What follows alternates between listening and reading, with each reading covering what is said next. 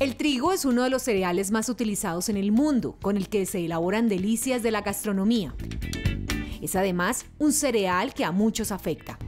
El trigo junto a la avena, cebada y el centeno tiene una proteína llamada gluten, que está compuesta de gliadina y glutenina, una proteína que aparte de dar elasticidad a la masa, produce en el organismo de ciertas personas algunos síntomas cuando se consume.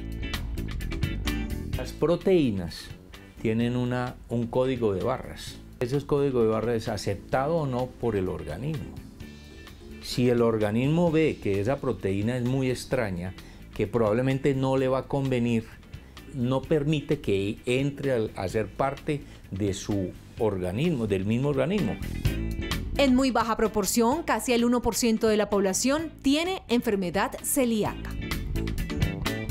Es una enfermedad rara, pero supremamente incómoda, que produce desnutrición, diarreas terribles, caída del cabello, anemia, dolores articulares, daño hepático.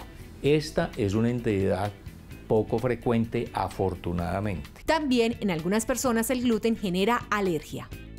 La alergia es que usted monta otro tipo de anticuerpos, unas defensas de las alergias, mendiada fundamentalmente por la inmunoglobulina E. Ese paciente tiene brote, tiene dermatitis, se inflama, son, parece quemaduras de segundo grado. Pero en cambio, entre el 5 y 6% de la población tiene algo de sensibilidad o intolerancia al gluten.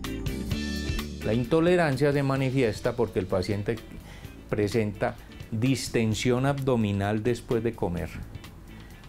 Doctor, me lleno de gases, todo me cae pesado, como que la comida me llega y se demora mucho para bajar y un poquito de dolor. Síntomas que hacen que esta condición no sea bien diagnosticada y se decida arbitrariamente dejar a un lado los productos que contienen gluten. Por eso es importante un diagnóstico correcto donde si el gluten es el causante, si se opte por no consumirlo. Desde mi punto de vista, sí es muy subdiagnosticada. Desde hace varios años ha habido más conciencia de la enfermedad. Eh, no tenemos un test diagnóstico para la hipersensibilidad o intolerancia al gluten.